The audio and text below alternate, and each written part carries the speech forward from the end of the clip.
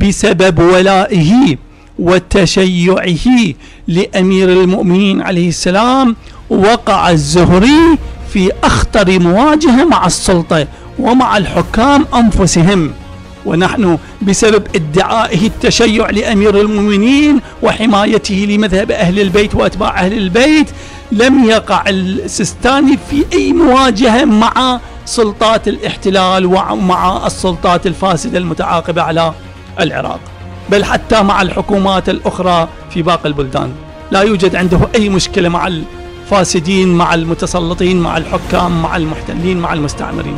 بسبب ولائه وتشيعه لأمير المؤمنين عليه السلام وقع الزهري في أخطر مواجهة مع السلطة. يعني لا يكفي أن يدعي الإنسان التشيع لنرى أفعال الإنسان. ربما لا يدعي التشيع وهو في داخله وفي معتقده هو من أصلب الشيعة. ومن أخلص الشيعة وشخص يدعي التشيع وهو من أعداء أهل البيت وهو من من الناصبين المعاندين لأهل البيت سلام الله عليهم ومن المحاربين لأهل البيت سلام الله عليهم.